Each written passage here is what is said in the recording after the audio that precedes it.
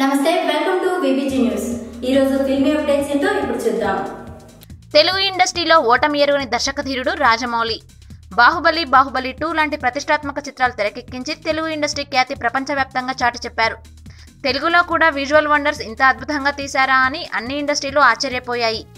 Baahubali two చిత్రం తర్వాత చాలా గ్యాప్ తీసుకొని ఎన్టీఆర్ రామ్ చరణ్లతో ఓ మల్టీస్టారర్ చిత్రం తీస్తున్న విషయం తెలిసిందే. ఒక హీరోయిన్ కీర్తి సురేష్ కన్ఫామ్ అయిన సంగతి తెలిసిందే. గత కొంతకాలం నుండి ఈ సినిమాకు సంబంధించి ప్రీ ప్రొడక్షన్ వర్క్ కూడా శరవేగంగా జరుగుతుంది. ఇక ఈ ఏడాది నవంబర్లో ఈ సినిమా సెట్స్ మీదకు వెళ్ళనుంది. అయితే రాజమౌళి తీస్తున్న చిత్రం కథ గురించి సోషల్ మీడియాలో రకరకాలుగా వినిపిస్తున్నాయి. అయితే అవేమీ నిజం కాదని తేలిపోయింది.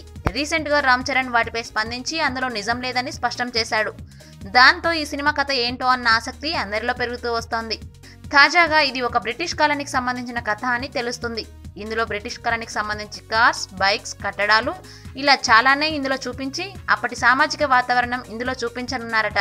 అంతేకాదు ఈ చిత్రంలో స్వాతంత్ర సమరానికి సంబంధించిన సీన్లు కూడా ఉన్నాయని టాక్. అందుకే ఈ చిత్రం కోసం దాదాపు మూడు వందల కోట్లు ఖర్చు పెడుతున్నట్లు టాలీవుడ్ వర్గాల్లో వార్త వినిపిస్తోంది. ఇవి ఈరోజు ఫిల్మీ అప్డేట్స్ మరో ఎపిసోడ్లో మళ్ళీ కలుద్దాం.